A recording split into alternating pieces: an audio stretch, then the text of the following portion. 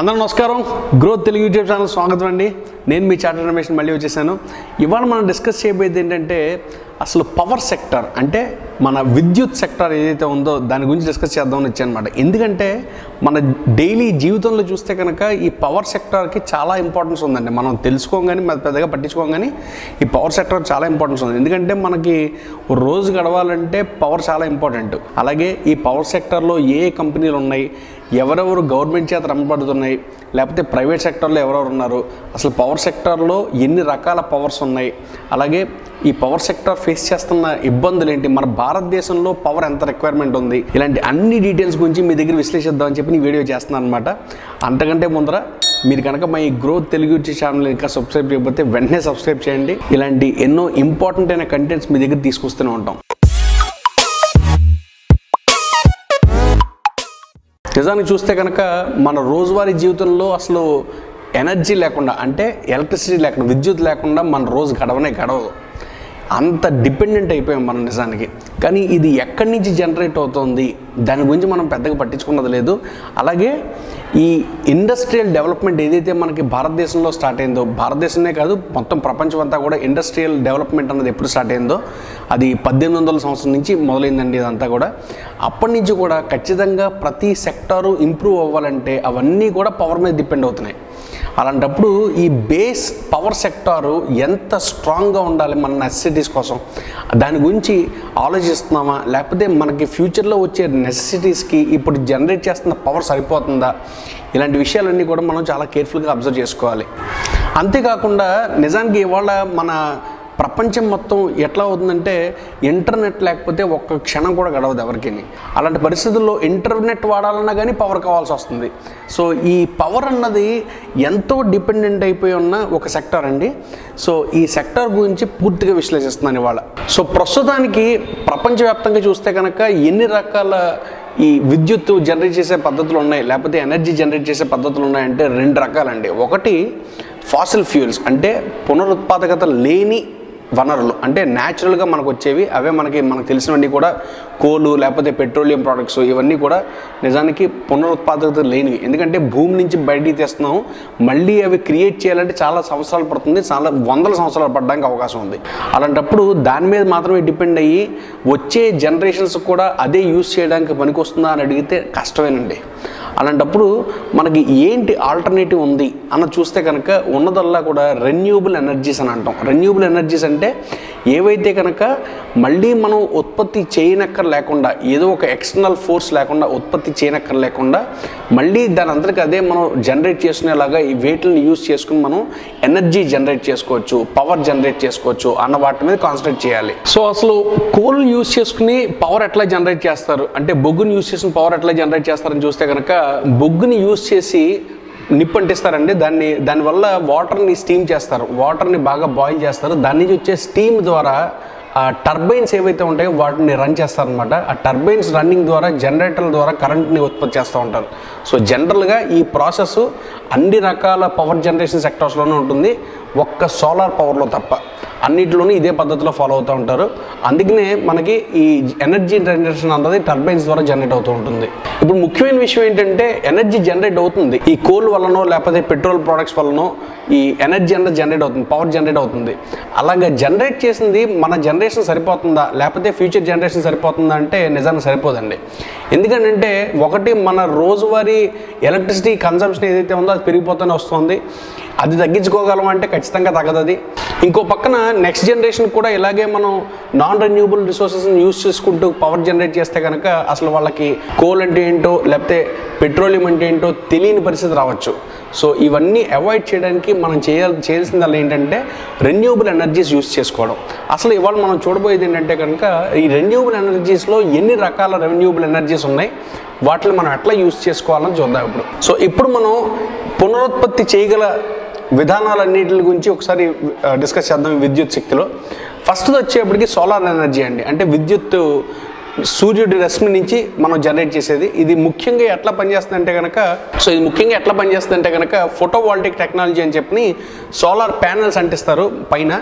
ఆ, solar panels ద్వారా మనకి సూర్య రశ్మి నుంచి వచ్చే సోలార్ రేడియేషన్ ఏదైతే ఉంటుందో దాని నుంచి ఎనర్జీకి జనరేట్ చేయడానికి వాడతారనమాట నిజానికి ఈ ఒక్క సోర్స్లో మాత్రమే టర్బైన్స్ అన్నవి యూస్ చేయరు. మిగతా అన్ని చోట్ల కూడా టర్బైన్స్ యూస్ చేస్తారని చెప్పి ఇందాక కూడా చెప్పుకున్నాం మనం. రెండో ముఖ్యమైన విధానం ఏంటంటే హైడ్రో పవర్ అండి. అంటే నీళ్ళని యూస్ చేసుకుని జనరేట్ చేయడం ఎలక్ట్రిసిటీని జనరేట్ చేయడం. అది ఎట్లా జనరేట్ చేస్తారని చూస్తే కనుక నీళ్ళు మనకి ప్రస్తుతానికి నదుల్లో కానీ లేకపోతే కొండ ప్రాంతాల్లోంచి వచ్చే నీళ్ళు ఏవైతే ఉంటాయో మంచి ఫోర్స్ మీద వస్తాయండి. ఆ ఫోర్స్ని యూస్ చేసుకుని టర్బైన్స్ తిప్పడానికి వాడతారు వాటిని దానివల్ల కూడా ఎనర్జీ జనరేట్ అవుతుంది. అలాగే మూడో ముఖ్యమైన విధానం ఏంటంటే కనుక విండ్ పవర్ అండి. అంటే ఈ గాలి గాలిలో ఉండే శక్తి ద్వారా మనం విన్ ఎనర్జీని జనరేట్ చేయొచ్చు. అది ఎట్లా జనరేట్ చేస్తారంటే కనుక ఈ గాలి వల్ల ఫ్యాన్స్ అన్న రన్ అవుతూ ఉంటాయి. ఆ రన్ అవడంలో ఈ టర్బైన్స్ని తిప్పుతారనమాట దాని ద్వారా కూడా ఎనర్జీ జనరేట్ అవుతుంది. ఇందులో ముఖ్యమైన విషయం ఏంటంటే గాలి అన్నది అసలు ఎప్పుడూ కూడా ఆగదండి. అలాంటప్పుడు విండ్ ఎనర్జీ ఏదైతే ఉందో అసలు నిరంతర ప్రక్రియగా చేసుకోవచ్చు నిజానికి. అలాగే ఇంకో ముఖ్యమైన విధానం ఏంటంటే కనుక టైడల్ పవర్ అంటాం. అంటే అలల ద్వారా మనం క్రియేట్ చేసిన పవర్ అనమాట అంటే ఈ సీషోర్ ఏరియాల్లో ఈ అలలు ఏవైతే ఉంటాయో వాటిల ద్వారా కూడా పవర్ జనరేట్ చేసుకోవచ్చు. దాన్నే టైడల్ పవర్ అంటాం. ఇది ముఖ్యంగా కోస్తా ప్రాంతాల్లో బాగా ఉపయోగపడే పవర్ సెక్టర్ అండి. ఎందుకంటే బాగా జనరేట్ చేయొచ్చు అక్కడ. మనకు కాస్ట్ లైన్ చూస్తే కనుక అటు వెస్ట్ బెంగాల్ నుంచి కింద కన్యాకుమారి దాకా మనకు మొత్తం ఉంది. అలాగే ఇంకో పక్కన కూడా మనకు కంప్లీట్గా కోస్టల్ సైడ్ అన్నది ఉంది. ఖచ్చితంగా దీన్ని యూస్ చేసుకుని కూడా మనం పవర్ జనరేషన్ అయితే చేసుకోవచ్చు.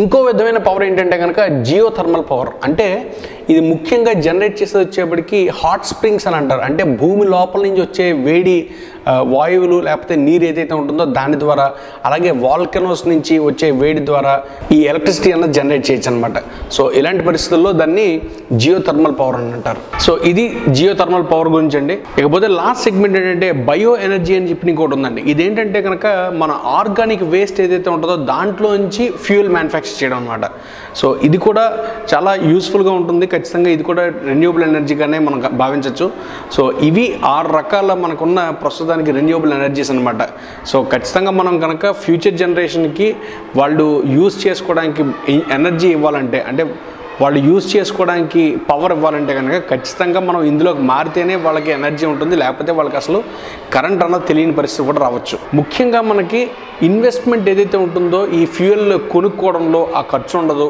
ఇంకొకటి మనకు పర్యావరణానికి హాని జరగదు. అలాగే ఈ ఎనర్జీ ఏదైతే ఉందో దాని అంతరకు అదే జనరేట్ అవుతుంది కాబట్టి మనకి కంటిన్యూస్గా దాని మీద కాన్సన్ట్రేట్ చేయాల్సిన అవసరం ఉండదండి. సో ఇది ముఖ్యంగా మనకి ఈ రెన్యూబుల్ ఎనర్జీస్ నుంచి అర్థమయ్యేది. సో ప్రస్తుతానికి భారతదేశంలో చూస్తే కనుక మనం మూడో స్థానంలో ఉన్నామండి. ఈ రెన్యూబుల్ ఎనర్జీస్ మ్యానుఫ్యాక్చర్ చేసే పరిస్థితి చూస్తే కనుక ఎంత మ్యానుఫ్యాక్చర్ చేస్తున్నాం అంటే కనుక ప్రపంచవ్యాప్తంగా ఎంత ఎంత రెన్యూబుల్ ఎనర్జీ జనరేట్ అవుతుందో అందులో ఇరవై ఐదు శాతం పైన మనమే మ్యానుఫ్యాక్చర్ చేస్తున్నాం. సో దాని కెపాసిటీ జూలై రెండు వేల ఇరవై ఒకటి చూస్తే కనుక తొంభై ఆరు పాయింట్ తొమ్మిది ఆరు గిగావాట్ల పవర్ని మనం మ్యానుఫ్యాక్చర్ చేస్తున్నాం ఇండియాలో అది కొంచెం పెద్ద అమౌంట్ అని చెప్పుకోవాలి. కాకపోతే మన భారతదేశంలో మనం యూజ్ చేసేది ఎంత ఉందని చూస్తే కనుక ఇంతకి చాలా రెట్లు ఎక్కువ ఉందండి. సో ఖచ్చితంగా మనం దాన్ని ఈ కెపాసిటీ ఏదైతే ఉందో దాన్ని ఇంకా ఇంప్రూవ్ చేసుకోవాలి. సో ఖచ్చితంగా దీన్ని ఇంప్రూవ్ చేసుకుంటేనే మన భారతదేశంలో క్రియేట్ చేసే రెన్యూబుల్ ఎనర్జీ మనకు సరిపోయే రకంగా పనికొస్తుందని చెప్పి మనం అర్థం చేసుకోవాలి. దీనికి ప్రస్తుత భారత ప్రభుత్వం ఏం ప్రణాళికలు వేసిందని చూస్తే కనుక రెండు వేల ముప్పై కల్లా దగ్గరగా నాలుగు వందల యాభై గిగావాట్ల పవర్ మ్యానుఫ్యాక్చర్ చేసే కెపాసిటీ కెపాసిటీ ఇంప్రూవ్ చేయాలని చెప్పి అంచనాలు వేస్తున్నారు. సో ఇదంతా కూడా ఐదు రెట్లు పెరగాలి ఒక పది సంవత్సరాల్లో అని చెప్పి అంచనా వేస్తున్నారు అనమాట ఇప్పుడు అసలు భారతదేశంలో ఎందుకు ఇంత మనం మ్యానుఫ్యాక్చర్ చేయాల్సి వస్తుంది అన్నది అర్థం చేసుకుంటే కనుక మనం ఇప్పటి వరకు డిమాండ్ ఎంత ఉండింది? అంటే మనకి ఎంత అవసరం పడింది ప్రతి సంవత్సరంలోనూ అన్నది ఒకసారి చూస్తే కనుక ఈ గ్రాఫ్లో రెండు వేల పదిహేను పదహారులో దగ్గరగా నూట యాభై మూడు గిగవాట్ల పవర్ కావాల్సి వస్తే రెండు వేల పదహారు పదిహేడులో అది నూట యాభై తొమ్మిదికి వెళ్ళిందండి. అలాగే పదిహేడు పద్దెనిమిదిలో కూడా నూట అరవై నాలుగులోనే ఉండింది. రెండు వేల పద్దెనిమిది పంతొమ్మిదికి వచ్చేప్పటికి నూట అరవై నాలుగులోనే ఉండింది. రెండు వేల ఇరవై ఒకటి ఇరవై రెండుకి వచ్చేప్పటికి రెండు వందల తొంభై ఐదు అయింది. అదే రెండు వేల ముప్పై ఐదు ముప్పై ఆరుకి వచ్చేప్పటికి ఆరు వందల తొంభై గిగావాట్ల పవర్ కావాల్సి వస్తుంది ఇండియాలో అని చెప్పి అంచనా వేస్తున్నారు. అలాగే ఏ రకాల పవర్ జనరేషన్ నుంచి మనకి ఎంత రావచ్చు? అలా చూస్తే కనుక మనకి ప్రస్తుతానికి స్మాల్ హైడ్రో పవర్స్ నుంచి ఇరవై గిగావాట్ల పవర్ వస్తుందండి రెన్యూవల్ పవర్. అలాగే బయో పవర్ వచ్చే ట్వంటీ ఫైవ్ గిగావాట్స్ వస్తుంది. అలాగే విండ్ పవర్ నుంచి నూట రెండు గిగావాట్లు వస్తుంది. సోలార్ ఎనర్జీ నుంచి ఏడు వందల యాభై గిగావాట్లు వచ్చే అవకాశం అయితే మనకు భారతదేశంలో ఉందని చెప్తున్నారు. ఎందుకనంటే మనకు భారతదేశంలో సూర్యరశ్మి అనేది చాలా బాగా పడుతుంది. దాన్ని యూజ్ చేసుకుని మనం ఖచ్చితంగా ఎనర్జీ జనరేట్ చేసుకోవచ్చు. కానీ ఫుల్గా యూటిలైజ్ చేసుకుంటున్నామంటే లేదు. అందుకని చెప్పి దాని మీద ఎక్కువ కాన్సన్ట్రేట్ చేయాలని చెప్పి అంచనాలు వేస్తున్నారు అనమాట ఇవి డిమాండ్ల గురించి లేకపోతే మనకు ఉన్న ప్రస్తుతం రెన్యూవల్ ఎనర్జీ ఎంత సోర్స్ మనం సంపాదించవచ్చు అనుకుంటే కనుక ఇంకో పక్కన ఇది మనం ఇంప్లిమెంట్ చేస్తే వచ్చే అడ్వాంటేజ్ ఏంటంటే మనకి ప్రస్తుతం బయట దేశాల నుంచి పెట్రోల్ కానీ అలాంటి పెట్రోల్ ఉత్పత్తులన్నీ కూడా ఇంపోర్ట్ చేసుకుని దాన్ని యూజ్ చేసుకున్నాం కోల్ కూడా మనం ఇంపోర్టే చేసుకుంటున్నాం. అలాంటి పరిస్థితుల్లో ఈ ఇంపోర్ట్స్ అన్నీ కూడా తగ్గించేసుకుంటే మనకి ఇంపోర్ట్ డ్యూటీ అనేది తగ్గిపోతుంది కదా. సో దానివల్ల కూడా మనం కొంచెం కాస్ట్ అయితే సేవ్ చేస్తాం. అలాగే సోలార్ పవర్ అలాగే విండ్ పవర్ కూడా ఖచ్చితంగా థర్మల్ పవర్ కంటే కూడా ఖర్చు తక్కువ అవుతుందని చెప్పి రెండు వేల ముప్పై కల్లా ఖర్చు తక్కువ అవుతుంది. అవుతుందని చెప్పి అంచనాలు వేస్తున్నారు. సో అది కూడా ఒక మంచి అవకాశంగానే మనం తీసుకుని చూడాలి. అంతేకాకుండా రెండు వేల ఇరవై ఎనిమిది కల్లా ఐదు వందల బిలియన్ డాలర్లు మన భారతదేశంలోకి ఈ ఇన్వెస్ట్మెంట్లోకి అంటే స్పెసిఫిక్గా రెన్యూబుల్ ఎనర్జీస్లోకి ఇన్వెస్ట్మెంట్లోకి తీసుకొస్తారని చెప్పి బయట దేశాల నుంచి చెప్పుకుంటున్నారు. సో ఖచ్చితంగా ఆ ఇన్వెస్ట్మెంట్ అంతా కూడా మనకి యూజ్ అయితే కనుక మన భారతదేశంలో మనకి ఎంత ఎనర్జీ కావాలో అంతా మనమే ప్రొడ్యూస్ చేసుకునే అవకాశం కలుగుతుంది అప్పుడు. అంతేకాకుండా భారతదేశ ప్రభుత్వం నుంచి పాలసీలు కూడా మంచి మంచి పాలసీలు తీసుకొచ్చారు ఈ ఎనర్జీ జనరేషన్ గురించి. అందుకని దాన్ని కూడా మనం యూజ్ చేసుకోవచ్చు. అదే కాకుండా ఈ పిఎల్ఐ స్కీమ్స్ ఏవైతే ఉంటాయో దగ్గరగా నాలుగు వేల కోట్లు ఈ ఎనర్జీ కోసం వెచ్చించారండి. సో దాన్ని కూడా మనం ఇన్వెస్ట్మెంట్లోకి తీసుకుని రావచ్చు. ఇవి ఒక పక్కన మొత్తం ఇండస్ట్రీ పరంగా లేకపోతే భారత ప్రభుత్వం ఏం స్టెప్స్ తీసుకుందని చూస్తే కనుక ఇంకో పక్కన చిన్న చిన్న వ్యాపారస్తులు ఎవరైతే ఉంటారో లేకపోతే చిన్న చిన్న రైతులు ఎవరైనా ఉంటారో లేకపోతే ఇళ్ళు ఎవరికైనా ఉన్నాయో వాళ్ళు కూడా వాళ్ళ సొంత రూఫ్ టాప్ సోలార్ సిస్టమ్ అనేది ఇంప్లిమెంట్ చేసుకోవడానికి చాలామంది ప్రయత్నాలు చేస్తున్నారు. వాటికి కూడా గవర్నమెంట్ చాలా సబ్సిడీలు ఇస్తుంది ఈ మధ్యకాలంలో. సో వీటిలన్నింటినీ చూసుకుంటే కనుక ఖచ్చితంగా మనకి సోలార్ ఎనర్జీ మీద చాలా ప్రభావం కనబడుతుంది అని చెప్పి మనం అర్థం చేసుకోవచ్చు. ఇంతే కాకుండా ఈ రెన్యూబుల్ సెక్టర్ ఏదైతే ఉందో రెన్యూబుల్ ఎనర్జీ సెక్టర్ దాన్ని బాగా ఎంకరేజ్ చేయడానికి గవర్నమెంట్ కొన్ని కంపల్షన్స్ పెట్టిందండి ఈ ఇండస్ట్రీస్ మీద మామూలు మిగతా ఇండస్ట్రీస్ మీద. ఏమని పెట్టిందంటే కొంచెం పర్సంటేజ్ ఆఫ్ పవర్ వాళ్ళకి ఏం కావాల్సి వస్తుందో అది ఖచ్చితంగా రెన్యూబుల్ ఎనర్జీస్ నుంచే జనరేట్ చేసుకుని కొనుక్కోవాలి. అని ఒక కంపల్షన్ పెట్టడం వల్ల ఏమైందంటే ఖచ్చితంగా వాళ్ళకి కొంచెం సేల్ అయితే ఖచ్చితంగా జరుగుతుంది అందులో. సో ఆ సేల్ జరగడం కోసం కూడా ఇలాంటి పథకాలు అయితే స్టార్ట్ చేశారు. సో ఎవరైతే ఇండస్ట్రీస్ రన్ చేస్తున్నారో వాళ్ళు వెళ్ళి ఖచ్చితంగా ఈ రెన్యూబుల్ ఎనర్జీ కంపెనీస్ దగ్గర నుంచే మ్యానుఫ్యాక్చర్ చేసిన ఎలక్ట్రిసిటీని కొనుక్కోవాలని చెప్పి ఒక పర్సంటేజ్ ఆఫ్ ఎలక్ట్రిసిటీ కొనుక్కోవాలని చెప్పిన కండిషన్స్ అయితే ఉన్నాయి. కార్బన్ క్రెడిట్స్ అనే కాన్సెప్ట్ ప్రపంచవ్యాప్తంగా చాలామందికి తెలిసిందేనండి ఎవరైతే కనుక ఈ రెన్యూబుల్ ఎనర్జీస్ యూస్ చేస్తారో వాళ్ళకి కొన్ని కార్బన్ క్రెడిట్స్ అనేది ఇస్తూ ఉంటారు. ఆ కార్బన్ క్రెడిట్స్ అనే కాన్సెప్ట్ మన భారతదేశం లోపల కూడా ఇంప్లిమెంట్ చేయాలని చెప్పి ప్రయత్నాలు చేస్తున్నారు. దానివల్ల ఏమవుతుందంటే కనుక ఎవరైతే రెన్యూబుల్ ఎనర్జీస్ ఎక్కువగా యూస్ చేసుకుంటారో వాళ్ళని ఒక గ్రీన్ కంపెనీ కిందో లేకపోతే వాళ్ళు తక్కువగా అట్మాస్ఫియర్ని పాడు చేస్తారు అని చెప్పిన సర్టిఫికేట్లు ఇవ్వడాలు. ఇలాంటి వాటి వల్ల ఖచ్చితంగా మనకి భారతదేశంలో ఈ రెన్యూబుల్ ఎనర్జీస్కి ఇంప్రూవ్మెంట్ అయితే ఉంటుందని చెప్పి అర్థం చేసుకోవాలి మనం. సో ఇవండి ముఖ్యంగా ప్రస్తుతం మనకున్న ఈ రెన్యూబుల్ ఎనర్జీ సోర్సెస్ అలాగే అవి మనకి భారతదేశంలో ఖచ్చితంగా ఫ్యూచర్లో ఎదుగుతాయి అని చెప్పుకోవడానికి గల కారణాలు. ఇకపోతే మనం తెలుసుకుంటుంది ఇందులో సైన్స్ పాఠం కాదు. మన ఇంటెన్షన్ ఏంటి? వీటి వల్ల నాకు షేర్ మార్కెట్లో ఏంటి అడ్వాంటేజ్ అది కదా మనకు కావాల్సింది. సో ఇప్పుడు మనం ఏం చెప్పుకోబోతున్నాం అంటే ఏ ఏ కంపెనీలు ఈ రెన్యూబుల్ ఎనర్జీస్ మ్యానుఫ్యాక్చరింగ్లో ఉన్నాయి? వాటి పరిస్థితి ఏంటి? నేను తీసుకున్నవన్నీ కూడా కొంచెం మంచి కంపెనీల గురించి తీసుకున్నాను. వాటి గురించి అనలైజ్ చేసి మీకు చెప్తాను. ఇందులో ఫస్ట్ కంపెనీ ఏంటంటే కనుక రిలయన్స్ ఇండస్ట్రీస్ లిమిటెడ్ అండి. నేను మాట్లాడేది ముఖేష్ అంబానీ గారి రిలయన్స్ గ్రూప్ గురించి. సో వీళ్ళు మామూలుగా చూస్తే కనుక వీళ్ళు పెట్రోకెమికల్స్లోనే మొదటి నుంచి ఉన్నారు. అదే కాకుండా టెక్స్టైల్స్లోనూ లేకపోతే వేరే వేరే రంగాల్లో ఉన్నారు. కానీ ఇటీవల కాలంలో చూస్తే కనుక రిలయన్స్ ఇండస్ట్రీస్ వాళ్ళు ఈ పెట్రోకెమికల్స్ బిజినెస్లో వాళ్ళ స్టాండ్ తగ్గించేసుకుని ఈ రెన్యూబుల్ ఎనర్జీస్లో ఇంప్రూవ్ చేసుకోవాలని చెప్పి ప్రయత్నాలు చేస్తున్నారని చెప్పి తెలిసింది మనకి. ఈ ప్రణాళికలో వీళ్ళు ఏం చేస్తున్నారంటే రిలయన్స్ ఇండస్ట్రీస్ దగ్గరగా డెబ్బై ఐదు వేల కోట్లు వచ్చే మూడు సంవత్సరాల్లో ఇన్వెస్ట్ చేయాలని చెప్పి కూడా ప్లాన్ చేస్తున్నారు.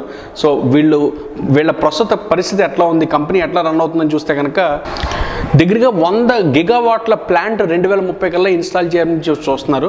అదే కాకుండా ఈ సోలార్ ఎనర్జీ ద్వారా ఎలక్ట్రిసిటీని జనరేట్ చేయడానికి అలాగే కార్బన్ ఫ్రీ హైడ్రోజన్ మ్యానుఫ్యాక్చర్ చేయడానికి కూడా వీళ్ళు ప్రయత్నాలు చేస్తున్నారని చెప్పి తెలుస్తుంది. సో వీళ్ళ కంపెనీ పరిస్థితి ఎట్లా ఉందంటే కనుక వీళ్ళు ఆల్రెడీ యూరోప్లో ఒక కంపెనీని టేక్ ఓవర్ చేసుకోవడం కూడా ప్లాన్ చేస్తున్నారు. దేనికంటే కనుక సోలార్ ప్యానెల్స్ మ్యానుఫ్యాక్చర్ చేసే కంపెనీ టేక్ ఓవర్ చేయడం కూడా ప్లాన్ చేస్తున్నారని చెప్పి తెలుసు తెలిసింది మనకి. సో ఇకపోతే కంపెనీ ఫినాన్షియల్ పొజిషన్ ఎట్లా ఉందని చూస్తే కనుక మార్కెట్ క్యాప్ వచ్చేవాడికి పదహారు లక్షల తొంభై నాలుగు వేల ఎనిమిది వందల ఇరవై మూడు కోట్ల వ్యాప్ మార్కెట్ క్యాప్ అండి. పిఈ రేషియో వచ్చేవాడికి ముప్పై ఐదు పాయింట్ ఆరు current market value by book value చూస్తే కనుక రెండు పాయింట్ నాలుగు ఐదు ఉందండి. రిటర్న్ ఆన్ ఈక్విటీ చూస్తే కనుక ఏడు పాయింట్ తొమ్మిది ఏడు శాతం ఉంది. నెట్ ప్రాఫిట్ మార్జిన్ వచ్చేప్పటికి సంవత్సరానికి పది పాయింట్ నాలుగు శాతం ఉంది. ఆపరేటింగ్ ప్రాఫిట్ మార్జిన్ పదహారు పాయింట్ ఎనిమిది శాతం ఉందండి. అలాగే డెట్ ఈక్విటీ రేషియో సున్నా పాయింట్ నాలుగు ఒకటి. కరెంట్ రేషియో చూస్తే కనుక ఒకటి పాయింట్ ఒకటి ఆరు అండి. సేల్స్ వేరియన్స్ చూస్తే కనుక ఐదేళ్ళలో పదకొండు శాతం పెరిగింది. అలాగే ఒక సంవత్సరంలో రిటర్న్ చూస్తే కనుక పదమూడు పాయింట్ ఐదు శాతం వచ్చిందండి.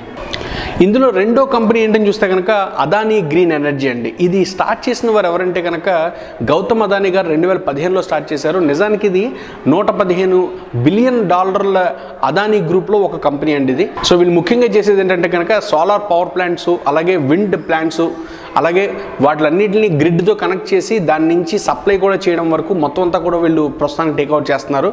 సో వీళ్ళ పరిస్థితి ఎలా ఉందని చూస్తే కనుక సో ప్రస్తుతానికి వీళ్ళ దగ్గర ఐదు పాయింట్ మూడు ఏడు రెన్యూబుల్ పవర్ మ్యానుఫ్యాక్చర్ చేసే పవర్ ప్లాంట్ అయితే ఉందండి.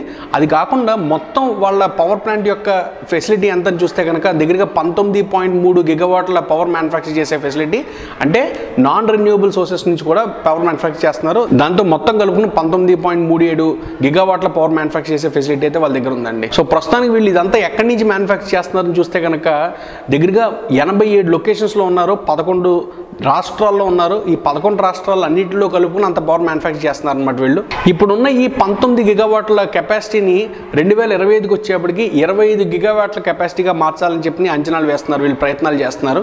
సో వీళ్ళ కంపెనీ పరిస్థితి ఎట్లా ఉందని చూస్తే కనుక మార్కెట్ క్యాప్ వచ్చేప్పటికి లక్ష డెబ్బై తొమ్మిది వేల డెబ్బై తొమ్మిది కోట్ల మార్కెట్ క్యాప్ ఉందండి. ప్రైస్ ఎర్నింగ్ రేషియో వచ్చేప్పటికి ఐదు వందల అరవై ఒక సార్లు ఉంది. Current market price by book value చూస్తే కనుక రెండు వందల ఎనిమిది సార్లు ఉందండి. రిటర్న్ ఆన్ ఈక్విటీ వచ్చేప్పటికి ఇరవై ఐదు పాయింట్ తొమ్మిది సార్లు ఉంది. నెట్ ప్రాఫిట్ మార్జిన్ వచ్చేప్పటికి ఎనిమిది పాయింట్ ఐదు నాలుగు శాతం ఉంది. ఆపరేటింగ్ ప్రాఫిట్ మార్జిన్ డెబ్బై నాలుగు పాయింట్ తొమ్మిది శాతం ఉంది. డెట్ ఈక్విటీ రేషియో ఇరవై ఎనిమిది పాయింట్ ఒకటి ఉంది. కరెంట్ రేషియో చూస్తే కనుక ఒకటి పాయింట్ ఒకటి ఆరు ఉందండి. సేల్స్ అయితే ఐదు సంవత్సరాల్లో పెరగలేదు. ఒక సంవత్సరంలో రిటర్న్ చూస్తే కనుక అరవై శాతం పెరిగిందండి. నిజానికి ఈ కంపెనీ చూస్తే కనుక వాల్యుయేషన్ చాలా ఎక్కువగా ఉంది బుక్ వాల్యూతో కంపేర్ చేస్తే అని చెప్పి చాలామంది చెప్తూ వచ్చారు. దాన్ని వీళ్ళు ఎట్లా జస్టిఫై చేసుకుంటారన్నది మనకు ప్రస్తుతానికి తెలియదు ఇకపోతే ఈ లిస్ట్లో ఉన్న మూడో కంపెనీ ఏంటంటే కనుక ఎన్టీపీసీ అంటే నేషనల్ థర్మల్ పవర్ కార్పొరేషన్ అని చెప్పి ఇది యాక్చువల్గా నవరత్న కంపెనీలో ఒకటి. ఇది యాక్చువల్గా మహారత్న కంపెనీలో ఒకటి అండి. Public sector company. అంటే భారతదేశ ప్రభుత్వం ద్వారా ఇన్కార్పొరేట్ చేయబడ్డ కంపెనీ అనమాట నిజానికి ఇది పంతొమ్మిది వందల డెబ్బై ఐదులో ఇన్కార్పొరేట్ చేయబడ్డ దగ్గర నుంచి ఇప్పటివరకు కంటిన్యూస్గా చేసుకుంటూనే వస్తున్నారు. దగ్గరగా వీళ్ళకి ఎంత మ్యానుఫ్యాక్చరింగ్ ఫెసిలిటీ ఉందని చూస్తే కనుక అరవై ఆరు పాయింట్ తొమ్మిది గిగావాట్ల కెపాసిటీ ప్రస్తుతానికి ఉంది. అందులో తొంభై రెండు శాతం కూడా కంప్లీట్గా ఫాసిల్ ఫ్యూయల్స్ నుంచి జనరేట్ అవుతుందండి. సో అందుకని చెప్పని వీళ్ళు ప్రస్తుతానికి ఈ రెన్యూబుల్ ఎనర్జీ సైడ్ వెళ్ళిపోవాలని చెప్పి ఎక్కువగా ప్రయత్నాలు అయితే చేస్తున్నారు. సో ఈ రెన్యూబుల్ ఎనర్జీని మ్యానుఫ్యాక్చర్ చేయడానికి ఫెసిలిటీస్ ఏవైతే కావాల్సి వస్తాయో వాటిలన్నింటినీ ఇన్కార్పొరేట్ చేసుకోవడానికి ప్రస్తుత ప్రయత్నాలు అయితే జరుగుతున్నాయి. ఈ కంపెనీ గొప్పతనం ఏంటంటే కనుక భారతదేశానికి మొత్తం ఎంత పవర్ కావాల్సి వస్తుందో అందులో దగ్గరగా ఇరవై మూడు శాతం ఈ ఎన్టీపీసీ నుంచి సప్లై అవుతుందండి. అలాగే వీళ్ళ కెపాసిటీ మొత్తం ఎక్కడ ఇన్స్టాల్ అయ్యిందని చూస్తే కనుక దగ్గరగా పదిహేడు శాతం మాత్రం ఇండియాలో ఇన్స్టాల్ అయ్యి ఉంది. మిగతా అంతా కూడా బయట ఇన్స్టాల్ అయ్యి ఉంది. సో అది వీళ్ళ గొప్పతనం అని చెప్పి చెప్పుకోవచ్చు. సో ప్రస్తుతానికి వీళ్ళకి రెన్యూబుల్ ఎనర్జీస్లో ఎంత పవర్ జనరేట్ అవుతుందని చూస్తే కనుక దగ్గరగా నాలుగు పాయింట్ తొమ్మిది గిగావాట్లు మాత్రమే జనరేట్ అవుతుంది. దీన్ని రెండు వేల ముప్పై రెండు కల్లా దగ్గరగా అరవై గిగావాట్లకు తీసుకెళ్ళాలని చెప్పిన ప్రయత్నాలు అయితే చేస్తున్నారు. సో అంటే దగ్గరగా ముప్పై శాతం కెపాసిటీ ఇందులో మాత్రమే పెంచాలని చెప్పి చూస్తున్నారు అనమాట ఈ కంపెనీలో కొన్ని కొన్ని ల్యాండ్ మార్క్ ప్రాజెక్టులు అయితే చేస్తున్నారండి. ఎలాంటివంటే రన్ ఆఫ్ ఖర్చులో దగ్గరగా నాలుగు పాయింట్ ఏడు ఐదు గిగావాట్ల renewable power manufacturing facility park maintain చేయడం. అలాగే రెండు వేల ముప్పై రెండు కల్లా ఖచ్చితంగా వీళ్ళు ఈవీ ట్రేడింగ్లోకి అలాగే బయో ఎనర్జీలోకి గ్రీన్ హైడ్రోజన్లోకి ఇలాగ రకరకాల గ్రీన్ ప్రోడక్ట్స్లోకి ఎంటర్ అవ్వాలని చెప్పి చాలా మంచి ప్రయత్నాలు అయితే చేస్తున్నారు. సో వీళ్ళ ప్రస్తుత పరిస్థితి ఎట్లా ఉంది కంపెనీని చూస్తే కనుక మార్కెట్ క్యాప్ వచ్చేప్పటికి లక్ష ఇరవై ఏడు వేల ఎనిమిది వందల నలభై ఏడు కోట్లు అండి పీఈ రేషియో వచ్చేప్పటికి ఎనిమిది పాయింట్ ఒకటి ఐదు PE ratio current market price by book value చూస్తే కనుక ఒకటి పాయింట్ సున్నా రెండు అండి. రిటర్న్ ఆన్ ఈక్విటీ చూస్తే కనుక పన్నెండు పాయింట్ ఆరు శాతం ఉంది. నెట్ ప్రాఫిట్ మార్జిన్ వచ్చేప్పటికి పద పద్నాలుగు పాయింట్ ఒకటి శాతం ఉందండి. ఆపరేటింగ్ ప్రాఫిట్ మార్జిన్ వచ్చేప్పటికి ఇరవై తొమ్మిది పాయింట్ ఒకటి శాతం ఉంది. నెట్ ఈక్విటీ రేషియో ఒకటి పాయింట్ ఆరు తొమ్మిది సార్లు ఉందండి. కరెంట్ రేషియో చూస్తే కనుక ఒకటి పాయింట్ నాలుగు ఒక సార్లు ఉందండి. సేల్స్ వేరియన్స్ చూస్తే కనుక ఐదేళ్ళలో ఎనిమిది పాయింట్ ఏడు మూడు శాతం మినిమం పెరిగింది. ఒక సంవత్సరంలో రిటర్న్ చూస్తే కనుక యాభై శాతం రిటర్న్లు ఇచ్చేయండి ఈ కంపెనీ షేర్లు. సో ఇకపోతే ఈ లిస్ట్లో నాలుగు కంపెనీ ఏంటని చూస్తే కనుక జేఎస్డబ్ల్యూ ఎనర్జీ అండి. ఈ జేఎస్డబ్ల్యూ ఎనర్జీ అన్నది జేఎస్డబ్ల్యూ గ్రూప్ వారి కంపెనీయే. వీళ్ళ పదమూడు బిలియన్ డాలర్ల గ్రూప్లో ఇది కూడా ఒక కంపెనీ అని చెప్పుకోవచ్చు. నిజానికి వీళ్ళు ఏ వ్యాపారంలో ఈ పవర్ సెక్టర్లో ఉన్నారని చూస్తే కనుక పవర్ జనరేషన్లోనూ ఉన్నారు ట్రాన్స్మిషన్లోనూ ఉన్నారు అలాగే ట్రేడింగ్లో కూడా ఉన్నారని చెప్పి తెలుస్తుంది. సో వీళ్ళకి ప్రస్తుతానికి ఎన్ని గిగావాట్ల పవర్ మ్యానుఫ్యాక్చరింగ్ ఫెసిలిటీ ఉందని చూస్తే కనుక నాలుగు పాయింట్ ఐదు ఆరు గిగావాట్ల కెపాసిటీ ఉందండి. అందులో ఒకటి పాయింట్ నాలుగు గిగావాట్లు వచ్చేప్పటికి ఈ రెన్యూవబుల్ ఎనర్జీస్ నుంచే ఉందని చెప్పి మనకు తెలుస్తుంది. ఈ కెపాసిటీని రెండు వేల ఇరవై ఐదు కల్లా పది గిగావాట్ల కెపాసిటీకి తీసుకెళ్ళాలని చూస్తున్నారు. అందులో ఆరు పాయింట్ ఎనిమిది గిగావాట్లు వచ్చేప్పటికి ఈ ఎనర్జీస్ నుంచే ఉండాలని చెప్పి కూడా ప్లాన్ చేస్తున్నారు. అలాగే రెండు వేల ముప్పైకి వచ్చేప్పటికి ఇరవై గిగావాట్ల పవర్ మ్యానుఫ్యాక్చర్ చేయాలని చెప్పి వస్తున్నారు. అందులో మళ్ళీ పదహారు పాయింట్ ఎనిమిది గిగావాట్ల పవర్ వచ్చేప్పటికి ఈ రెన్యూబుల్ ఎనర్జీస్ నుంచే ఉండాలని చెప్పి కూడా చూస్తున్నారు అనమాట సో ప్రస్తుతానికి వీళ్ళ ఫినాన్షియల్ పొజిషన్ ఎట్లా ఉందని చూస్తే కనుక మార్కెట్ క్యాప్ వచ్చేప్పటికి అరవై వేల రెండు వందల డెబ్బై కోట్లు ఉందండి. పిఈ రేషియో డెబ్బై ఆరు పాయింట్ తొమ్మిది ఉంది. Current market price by book value చూస్తే కనుక నాలుగు పాయింట్ ఒకటి ఆరు ఉంది. రిటర్న్ ఆన్ ఎక్విటీ ఐదు పాయింట్ తొమ్మిది నాలుగు శాతం ఉంది. నెట్ ప్రాఫిట్ మార్జిన్ చూస్తే కనుక పదకొండు పాయింట్ ఆరు శాతం ఉంది. ఆపరేటింగ్ ప్రాఫిట్ మార్జిన్ వచ్చేప్పుడు నలభై ఒకటి పాయింట్ ఎనిమిది శాతం ఉందండి. డెట్ ఈక్విటీ రేషియో సున్నా పాయింట్ ఐదు ఎనిమిది ఉంది. కరెంట్ రేషియో రెండు పాయింట్ ఒకటి రెండు ఉందండి. సేల్స్ రేషియో చూస్తే కనుక తగ్గింది ఐదు సంవత్సరాల్లో ఆరు పాయింట్ ఏడు ఆరు శాతం తగ్గింది.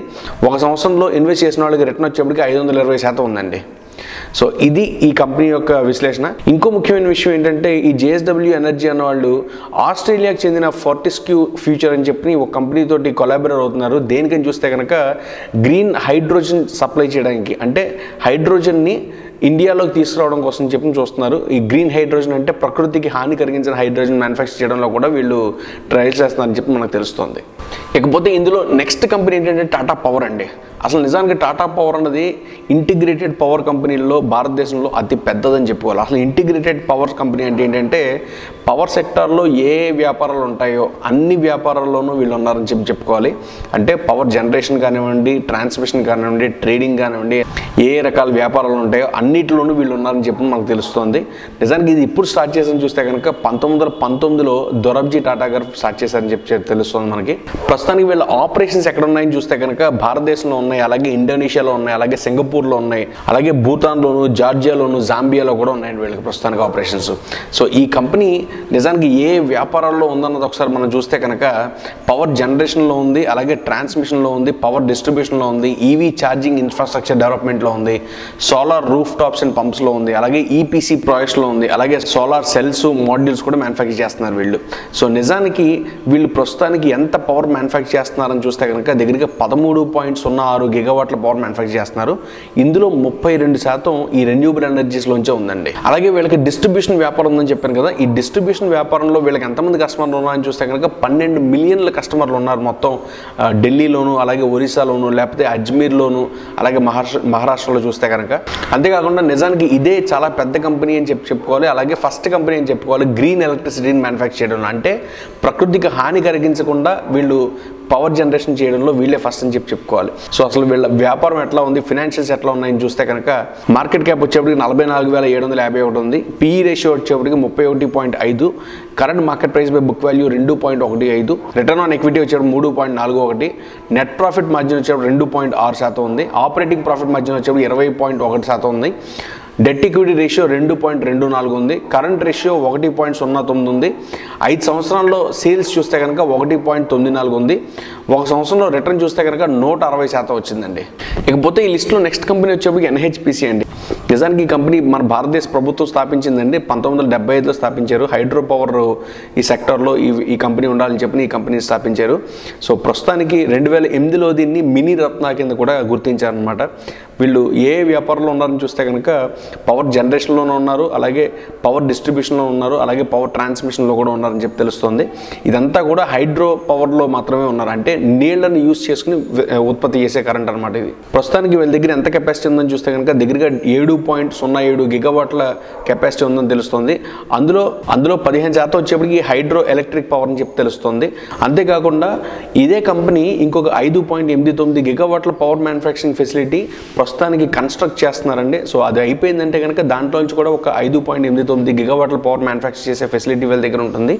ఇది కాకుండా ఇంకొక పవర్ మ్యానుఫ్యాక్చరింగ్ సెంటర్కి వీళ్ళు అప్లికేషన్ అయితే పెట్టున్నారు. క్లియరెన్స్ ఇంకా రావాలని చెప్పి వెయిట్ చేస్తున్నారు అనమాట ఒకవేళ అది వస్తే కనుక ఇంకో పది పాయింట్ ఐదు గిగావాట్ల పవర్ మ్యానుఫ్యాక్చరింగ్ చేసే ఫెసిలిటీ వీళ్ళ దగ్గర ఇంకా ఇంకా యాడ్ అవుతుంది. ఇంతే కాకుండా ఇంకొక ఆరు పాయింట్ రెండు తొమ్మిది గిగావాట్ల పవర్ సోలారు అలాగే విండ్ ఎనర్జీతో కలిపి ఇంకొక ప్లాంట్ సెట్ చేయాలని చెప్పి చూస్తున్నారు అనమాట అది కనుక కంప్లీట్ అయితే ఇంకొక ఆరు పాయింట్ రెండు తొమ్మిది గిగావాట్ల పవర్ కూడా మనకు వస్తుంది. సో ఈ ప్లాంట్ ఎప్పుడు రెడీ అవుతుందని చూస్తే కనుక రెండు వేల ఇరవై నాలుగు కల్లా కంప్లీట్ చేయాలని చెప్పి వీళ్ళు ప్రయత్నం చేస్తున్నారు. ఇకపోతే ఈ కంపెనీ ఫినాన్షియల్స్ చూస్తే కనుక మార్కెట్ క్యాప్ వచ్చేప్పటికి ఇరవై ఎనిమిది వేల మూడు వందల డెబ్బై ఆరు కోట్లు ఉందండి. అలాగే పీఈ రేషియో ఎనిమిది పాయింట్ మూడు ఆరు ఉంది. Current market price by book value సున్నా పాయింట్ ఎనిమిది ఆరు రిటర్న్ ఆన్ ఈక్విటీ వచ్చేప్పటికి పది శాతం ఉంది. నెట్ ప్రాఫిట్ మార్జిన్ వచ్చేప్పుడు ముప్పై ఆరు పాయింట్ తొమ్మిది శాతం ఉంది. ఆపరేటింగ్ ప్రాఫిట్ మార్జిన్ యాభై రెండు పాయింట్ నాలుగు శాతం ఉంది. డెట్ ఈక్విటీ రేషియో సున్నా పాయింట్ ఏడు ఒకటి. అలాగే కరెంట్ రేషియో వచ్చేప్పటికి రెండు పాయింట్ రెండు తొమ్మిది. సేల్స్ వేరియన్స్ ఐదేళ్ళలో రెండు పాయింట్ తొమ్మిది రెండు శాతం పెరిగింది. ఒక సంవత్సరంలో వీళ్ళకి వచ్చే రిటర్న్ వచ్చేప్పటికి ముప్పై తొమ్మిది శాతం అండి. ఈ లిస్ట్లో నెక్స్ట్ చూస్తే కనుక ప్రజ్ ఎనర్జీస్ అని చెప్పి ఒక కంపెనీ అండి. వీళ్ళు బేసికల్గా అన్ని కూడా బయో ఎనర్జీస్ మ్యానుఫ్యాక్చర్ చేయడానికి అలాగే వాటికి సంబంధించిన మిషనరీస్ మ్యానుఫ్యాక్చర్ చేయడానికి వాటిల్లోనే ఉన్నారు తప్పితే మామూలు ఎలక్ట్రిసిటీ జనరేషన్లో వీళ్ళు లేరనమాట సో వీళ్ళ ముఖ్యమైన ప్రోడక్ట్ ఏంటని చూస్తే కనుక బయో సిఎన్జీ అని చెప్పి మనకు తెలుస్తుంది. సో ప్రస్తుతానికి వీళ్ళకి దగ్గర ఏడు వందల యాభై కస్టమర్లు ఉన్నారు డెబ్బై దేశాల్లో ఉన్నారండి. సో వీళ్ళు ఏ వ్యాపారాలు చేస్తున్నారని చూస్తే కనుక బయో ఎనర్జీలో ఉన్నారు. అలాగే హై ప్యూరిటీ వాటర్ మ్యానుఫ్యాక్చర్ చేస్తున్నారు. అలాగే క్రిటికల్ ప్రాసెస్ ఎక్విప్మెంట్ అన్నది మ్యానుఫ్యాక్చర్ చేస్తున్నారు. అలాగే బ్రూవరీస్ ఉన్నాయి. అలాగే industrial water plant treatment facilities manufacture చేస్తున్నారు. సో ఇవన్నీ కూడా వీళ్ళు వీళ్ళ వ్యాపారంలో ఉన్నాయన్నమాట. చాలా ముఖ్యమైన విషయం ఏంటంటే ఈ కంపెనీకి ఆల్రెడీ రెండు వేల ఇరవై రెండు ఇరవై మూడు సంవత్సరానికి ఆర్డర్ బుక్ దగ్గరగా రెండు వేల వంద కోట్లకి ఆర్డర్ బుక్ ఉందండి. అందులో ఎనభై మూడు శాతం భారతదేశం నుంచే సేల్ ఉంటే మిగతాదంతా కూడా అక్కడ బయట దేశాల నుంచి సేల్ అవుతుంది. సో వీళ్ళ ప్రోడక్ట్స్లో ఏమేమిటి ముఖ్యమైనవని చూస్తే కనుక నంబర్ వన్ ఇథనాల్ మ్యానుఫ్యాక్చర్ చేస్తున్నారండి. అది కాకుండా ఇందాక చెప్పినట్టు బయో సిఎన్జీ కూడా మ్యానుఫ్యాక్చర్ చేస్తున్నారు. అలాగే చాలా రకాల ప్రోడక్ట్స్ కూడా వీళ్ళ దగ్గర ఉన్నాయన్నమాట. నిజానికి వీళ్ళ సేల్స్లో చూస్తే కనుక మొత్తం సేల్లో దగ్గరగా అరవై ఎనిమిది శాతం ఈ బయో ఎనర్జీ సెగ్మెంట్ నుంచి మాత్రమే జనరేట్ అవుతుంది. అంతేకాకుండా రెండు వేల ఇరవై ఒకటిలో ప్రపంచవ్యాప్తంగా గ్లోబల్ బయో ఎకనామిక్ కంపెనీస్ ఏమున్నాయని చూస్తే కనుక అందులో యాభై కంపెనీల్లో ఇది రెండో స్థానంలో ఉందని చెప్పి తెలుస్తోంది. అంటే దాని అర్థం ఏంటంటే కనుక వీళ్ళు చాలా తక్కువ కార్బన్ని ప్రకృతిలోకి వదులుతున్నారు. దానివల్ల ప్రకృతికి హాని కలిగించే విధంగా వీళ్ళ మ్యానుఫ్యాక్చరింగ్ ఫెసిలిటీస్ కానీ లేకపోతే వీళ్ళ ఉత్పత్తులు కానీ లేవని చెప్పి మనకు తెలుస్తోంది. సో ఇకపోతే ఈ కంపెనీ యొక్క డీటెయిల్స్ చూస్తే కనుక ఫినాన్షియల్ డీటెయిల్స్ చూస్తే కనుక మార్కెట్ క్యాప్ వచ్చేప్పటికి ఆరు వేల మూడు వందల ముప్పై ఐదు కోట్లు ఉంది. పీఈ రేషియో యాభై ఐదు పాయింట్ ఏడు సార్లు ఉంది. Current market price by book value ఏడు పాయింట్ ఎనిమిది తొమ్మిది ఉంది. రిటర్న్ ఆన్ ఈక్విటీ పది పాయింట్ ఆరు శాతం ఉంది. నెట్ ప్రాఫిట్ మార్జిన్ వచ్చేప్పటికి ఆరు పాయింట్ రెండు శాతం ఉంది. ఆపరేటింగ్ ప్రాఫిట్ మార్జిన్ పది పాయింట్ నాలుగు శాతం ఉంది. డెట్ ఈక్విటీ రేషియో సున్నా. కరెంట్ రేషియో వచ్చేప్పటికి ఒకటి పాయింట్ రెండు మూడు. అలాగే సేల్స్ వేరియన్స్ వచ్చేప్పటికి ఐదు సంవత్సరాల్లో ఐదు శాతం దాకా పెరిగిందండి. ఒక సంవత్సరంలో రిటర్న్ చూస్తే కనుక ఇన్వెస్టర్కి మూడు వందల డెబ్బై నాలుగు శాతం వచ్చిందండి. ఈ లిస్ట్లో లాస్ట్ కంపెనీ వచ్చేప్పటికి సజ్లన్ ఎనర్జీ అని చెప్పి వీళ్ళు బేసికల్గా విండ్ టర్బైన్స్ మ్యానుఫ్యాక్చరింగ్లో ఉన్నారండి. వీళ్ళకి ప్రస్తుతానికి చూస్తే కనుక దగ్గరగా పద్దెనిమిది దేశాల్లో వ్యాపారం ఉంది. ఆ పద్దెనిమిది దేశాలు ఆల్మోస్ట్ అన్ని ఖండాల్లోనూ ఎస్టాబ్లిష్ అయిపోయినాయండి. అంటే ఏషియాలోను ఆఫ్రికాలోను అలాగే ఆస్ట్రేలియాలోను యూరోప్లోను అలాగే నార్త్ అమెరికాలోను సౌత్ అమెరికాలోను అన్ని అన్ని చోట్ల కూడా వీళ్ళ సంస్థలు అయితే వ్యాపారం చేస్తూ వస్తున్నాయి. ఈ కంపెనీని స్థాపించిన వారు చూస్తే కనుక తులసి తంటి అని చెప్పి వారు సూరత్ నుంచి పంతొమ్మిది వందల తొంభై ఐదులో స్థాపించారు. ప్రస్తుతానికి ప్రపంచవ్యాప్తంగా వీళ్ళు విండ్ టర్బైన్స్ మ్యానుఫ్యాక్చరింగ్లో ఐదో స్థానంలో ఉన్నారు. వీళ్ళకి ప్రస్తుతానికి ఎంత కెపాసిటీ ఉంది పవర్ జనరేషన్ కెపాసిటీని చూస్తే కనుక దగ్గరగా పద్దెనిమిది పాయింట్ తొమ్మిది గిగవాట్ల పవర్ మ్యానుఫ్యాక్చరింగ్ ఫెసిలిటీ వీళ్ళ దగ్గర ఉంది. అందులో పన్నెండు పాయింట్ తొమ్మిది గిగవాట్ల పవర్ వచ్చేప్పటికి భారతదేశం నుంచే మ్యానుఫ్యాక్చర్ చేస్తారు అంటే దీని నుంచి మనకు అర్థం కావాల్సింది ఏంటంటే వీళ్ళ పవర్ జనరేషన్లో ఆల్మోస్ట్ చాలా మట్టుకి భారతదేశంలోనే మ్యానుఫ్యాక్చర్ చేస్తున్నారు. భారతదేశానికి మాత్రం యూజ్ చేస్తున్నారు దీన్ని. ఇకపోతే నెక్స్ట్ స్టేజ్కి వచ్చేప్పటికి వీళ్ళు ఈ సోలార్ అలాంగ్ విత్ విండ్ ఇందాక మనం ఒక కంపెనీకి చెప్పుకున్నట్టు ఈ solar along along with wind manufacturing అన్నది వీళ్ళు ఎలక్ట్రిసిటీ జనరేట్ చేయాలని చెప్పి చూస్తున్నారు. సో ప్రస్తుతానికి వీళ్ళ మార్కెట్ పొజిషన్ ఎట్లా ఉందని చూస్తే కనుక మార్కెట్ క్యాప్ వచ్చేప్పటికి ఐదు వేల ఐదు వందల ఇరవై ఎనిమిది కోట్లు ఉందండి. పీఈ రేషియో పదకొండు పాయింట్ ఐదు ఉంది. నెట్ ప్రాఫిట్ మార్జిన్ వచ్చేప్పటికి నెగిటివ్ ఇరవై పాయింట్ ఎనిమిది శాతం ఉందండి. లాస్లో నడుస్తుంది. ఆపరేటింగ్ ప్రాఫిట్ మార్జిన్ మాత్రం పదిహేను పాయింట్ ఒక శాతం ఉంది.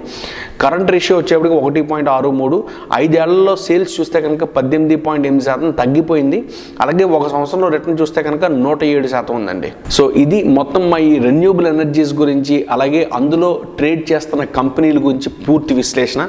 ఒకవేళ మీరు కనుక ఏదైనా కంపెనీలు ఇన్వెస్ట్ చేయాలనుకుంటే గుర్తెట్టుకోండి నేను చెప్తున్నాను లేకపోతే గ్రో వాళ్ళు ఈ యూట్యూబ్ ఛానల్ ద్వారా మీకు ఎడ్యుకేషన్ ఇస్తున్నారని చెప్పి మాత్రం కొనొద్దు. మీ సొంతంగా మీరు విశ్లేషించుకుని మీకు నచ్చితే మాత్రమే కొనండి లేకపోతే అసలు కొనకండి. సో అదే నేను చెప్పే మీకు ఒక మంచి ఉచిత సలహా అనుకోవచ్చు మీరు. సో ఇంకొక మంచి వీడియోతో మళ్ళీ మీ ముందరికి వస్తాను. అప్పటివరకు ఉంటాను మరి. నమస్కారం.